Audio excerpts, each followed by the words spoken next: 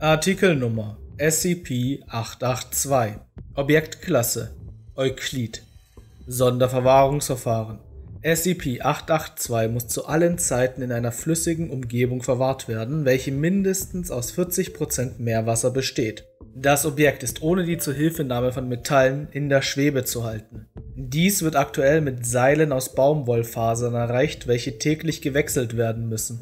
Das Objekt ist ebenfalls täglich auf Anzeichen von Rostablagerungen zu überprüfen. Sollte ein Areal von SCP-882 nicht mit Rost beschichtet sein, muss es sofort in eine 100%ige Meerwasserlösung getaucht werden. Das Wasser hierfür muss direkt aus dem Ozean entnommen werden. Die Konzentration darf erst verringert werden, wenn das Objekt wieder komplett mit Rost beschichtet ist. Es darf kein Metall in den Sicherheitsbereich eingebracht werden. Nur organische Materialien sind im Sicherheitsbereich erlaubt und jeder Kontakt mit SCP-882 erfordert die Verwendung von dicken Baumwollhandschuhen. Jegliches Metall, das mit dem Objekt in Kontakt gekommen ist, muss mittels Schweißgerät entfernt, eingeschmolzen und in einem separaten Bereich in 100%igem Meerwasser eingetaucht und verwahrt werden.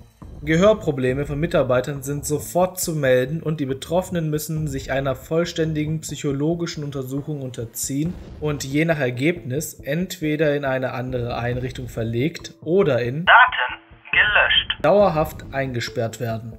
Beschreibung bei SCP-882 scheint es sich um eine zufällige Anordnung von Zahnrädern, Kabeln, Riemenscheiben, Riemen und Schrauben zu handeln, die alle aus einem Amalgam aus verschiedenen Metallen bestehen. Die Größe des Objektes betrug zum Zeitpunkt der Bergung etwa 87 Kubikmeter. Gegenwärtig beträgt die Größe etwa 12 Kubikmeter. SCP-882 rostet schnell, wenn es sich in Meerwasser befindet.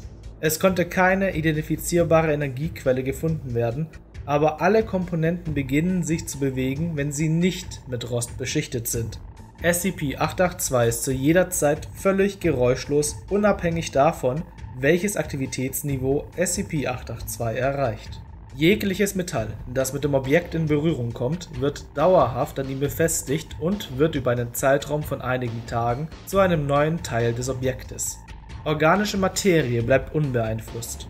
SCP-882 ist extrem widerstandsfähig und weist eine Zugfestigkeit und Härte auf, die über denen von Titanlegierungen für Flugzeugen liegen, obwohl seine Zusammensetzung eine zufällige Legierung aus Eisen, Zinn, Gold und anderen Metallen zu sein scheint, von denen einige noch nicht identifiziert werden konnten. Extreme fokussierte Hitze muss über mehrere Stunden angewendet werden, um auch nur einen kleinen Teil des Objektes freizuschneiden. Personen, die sich längere Zeit in der Nähe des Objektes aufhalten, entwickeln akustische Halluzinationen, hauptsächlich das Geräusch von Knirschen und Klicken. Dieses Geräusch verstärkt sich und wird nur dadurch gedämpft, dass Metall in das Objekt geworfen wird. Personen in fortgeschrittenen Stadien der Psychose haben sich selbst in das Objekt geworfen, was zu einem fast sofortigen Tod durch Zerquetschen führte. Die Körper werden dabei oftmals in das Objekt hineingezogen und es ist unmöglich, sie zu bergen.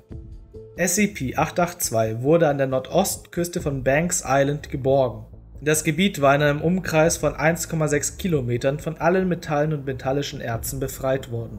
SCP-882 wurde im geometrischen Mittelpunkt dieses Gebietes gefunden. SCP-882 war zum Zeitpunkt der Entdeckung in Meerwasser eingetaucht. In der Nähe befand sich eine kleine Stadt, welche seit mehreren Jahren verlassen war. SCP-882 wurde entfernt und fing kurz darauf an, Rost abzublättern, wodurch sich die verschiedenen Teile in Bewegung setzten. Nach mehreren Unfällen genehmigte Dr. Gears das Abspielen von SCP-2519 in Dauerschleife, wodurch die Bewegung des Objektes erfolgreich reduziert und ein sicherer Zugang ermöglicht werden konnte. SCP-882 wurde dann mittels Schweißgeräten zerschnitten und vor Ort verwahrt. Hinweis SCP-882 darf nicht in die Nähe von SCP-271 oder eines möglicherweise durch SCP-217 kontaminierten Objektes gebracht werden. Nachtrag Bitte lesen Sie Befragung 882-1 für weitere Informationen. Befragung 882-1 Befragt Richard Wright Leitung der Befragung Dr. Gears Vorwort bei Richard Wright handelt es sich um einen Überlebenden aus der kleinen Gemeinde in der Nähe des ursprünglichen Bergungsortes von SCP-882. Bitte, nehmen Sie Platz. Nennen Sie bitte Ihren Namen für das Protokoll. Ähm, Richard Logan Wright, äh, aber alle nennen mich Rich. Ausgezeichnet, vielen Dank. Mr. Wright, erinnern Sie sich an das Datum, an dem Sie das fragliche Objekt zum ersten Mal gesehen haben? Gott, wann war das nochmal? Ich bin mir nicht ganz sicher. Es ist schon eine Weile her. Äh, Alan, Alan fand es zuerst, hat sein Boot dagegen gerammt. Er erzählte ein paar von den anderen Jungs davon, sagte, sie könnten es für ein bisschen Kohle beim Schrotthändler verkaufen. Ne? Wie, wir alle dachten, es sei ein Stück von einem Flugzeug oder Frachtschiff oder so. Wann begann das Gerät sich zu bewegen? Äh, äh, am, am nächsten Tag. Das verdammte Ding schüttelte den Rost von sich ab, wie ein Hund die Flöhe. Es fing an, sich erst langsam zu drehen und wurde dann schneller. Als ich es als dann das nächste Mal gesehen habe, lief es schon richtig. Äh, Jimmy versuchte näher heranzukommen, um zu sehen, was es antrieb oder warum es so leise war, aber er rutschte aus und hat sich eine richtig schlimme Schnittwunde über dem Auge zugezogen und ist dann davon gerannt. Äh, Alan, Alan schien irgendwie daneben zu sein. Er, fragte uns ständig, ob wir etwas hörten, ne? Und, und, und, und Mrs. Parker dachte, ein Teil von dem Ding wäre aus Gold und hat sogar versucht, einen Teil mit einem Rohr zu blockieren, um daran heranzukommen. Äh, das Rohr steckt auch relativ schnell fest und verpasst dir dann eine ordentliche Ohrfeige, weil das Zahnrad, auf dem das Ganze drauf war, dann angefangen hat sich zu drehen. Danach haben sich die Leute meistens von dem Ding ferngehalten. Gab es noch andere Vorfälle, in denen Menschen verletzt wurden oder Geräusche hörten? Ja, am, am, Anfang nicht, äh, aber das, das ist es ja, ja. Das verdammte Ding war so ruhig, dass alle das alles irgendwie für eine Weile vergessen haben. Äh, Alan hat es in einem alten Lagerraum am Dock aufbewahrt und niemand war wirklich oft dort draußen. Ja? Ja, aber Alan sah mit der Zeit ja immer schlechter aus. Er sagte, er könne nicht schlafen und er höre das Ding schleifen. Ja? Und äh, der Pat, äh, Pater Pat kam vorbei, versuchte mit ihm zu reden und sagte ihm, er soll das halt loswerden. Aber der war dann ja auch ein paar Tage lang verschwunden und, und dann tauchten, tauchten die beiden plötzlich zusammen wieder auf und, wirkten super glücklich. Das Subjekt wirkt abwesend und zittert leicht. Mr. Wright? Subjekt reibt sich das Gesicht und schüttelt den Kopf. Nee, nee, mir ist schon in Ordnung, mir geht's gut. Tut mir leid.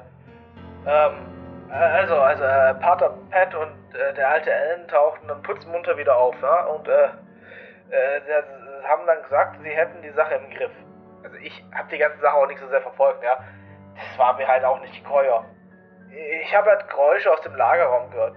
Knirschen, quietschen, aber, aber ganz, ganz leise. Jedenfalls haben sie irgendwas darüber gesagt, dass das Ding von woanders her sei. Das Gottes geschaffen hätte, ja. Da wurde mir die ganze Sache zu bunt und ich habe mich verdrückt.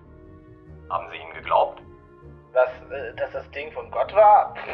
Nee. Also, nee. Äh, ich weiß nicht, ja. Ich, ich, ich, ich wusste nicht wirklich, was ich denken sollte. Dieses verdammte Gerät drehte sich immer weiter ohne Strom und fraß auch noch Metall, ja. Sie wissen noch, das Rohr von Mrs. Parker, ja, das hat sich in so eine riesige Schraubenwelle verwandelt, die aussah, als wäre sie da schon immer da gewesen. Ja, immer mehr Leute fingen dann auch, immer mehr, immer mehr von den Leuten fingen dann noch an, sich für das Ding zu interessieren, ja, und begannen Ellen und Pater Pat zuzuhören. Und die, die sagten ja allen, sie sollten Metall zur Maschine bringen, ja, erzählten ihnen, dass die Zahnräder die Stimme Gottes sein, dass, es, dass sie lauter würde, wenn wir uns von ihr abwandten und leiser, wenn wir ihre Opfergaben brachten. Haben Sie auch Metall dorthin gebracht oder sich längere Zeit in der Nähe des Objekts aufgehalten? Was spielt denn das jetzt für eine Rolle? Man konnte das Ding in der ganzen Stadt hören, ja? Und die Leute konnten nicht einmal schlafen. Nur Klirre, Knirschen, Schreien die ganze Nacht, ja? Erst mit Metall zu füttern hat, hat geholfen. Verdammt ich wollte es ja auch nicht. Ich, ich weiß, dass das nicht Gott war, ja. Ich habe auch nie gesagt, dass es das war. Alle anderen fielen über sich selbst ja, um, um Ellen und Pater Pat glücklich zu machen, ja. Ich, ich wollte nur meinen verdammten Schlaf, ja. Und, und daran, daran ist aber verdammt nochmal nichts falsch. Mr. Wright, ich muss Sie bitten, sich zu beruhigen. Ich stelle Fragen, ich beschuldige niemanden. Bitte kehren Sie zu Ihrem Platz zurück.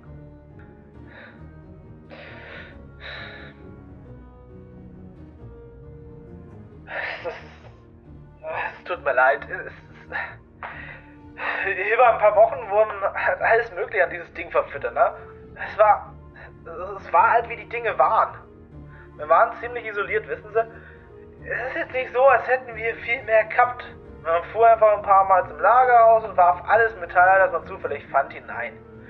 Es schienen immer Leute da zu sein, die, die nur zugeschaut haben. Nach einer Weile hat das Ding ein Loch in das Dach gerissen, ne?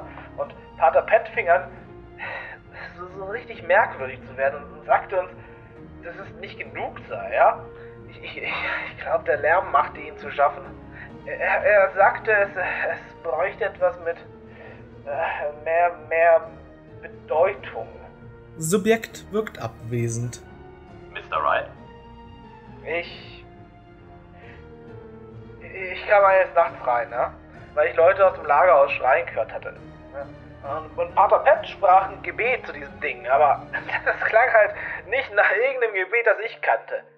Die Leute kamen rauf und er beugte sich über sie und, und, und sie schrien und dann drehte er sich zu dieser großen Masse aus Metall um und ich, ich dachte, er würde die Kommunion erteilen, aber dann habe ich die Zange in seiner Hand gesehen. Verzeihung, Zange? Er hat halt den Leuten die Füllung rausgerissen, ne?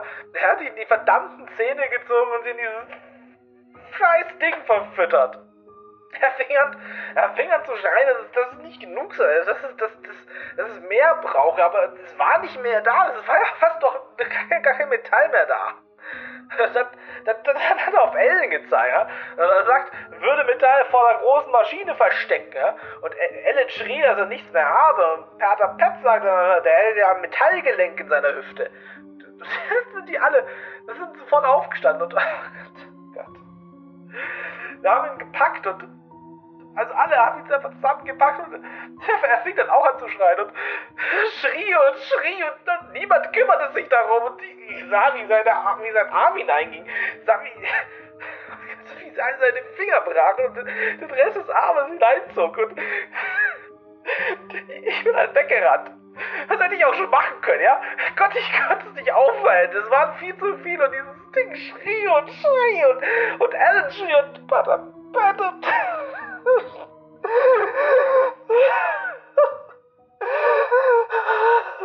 Diese Befragung ist beendet.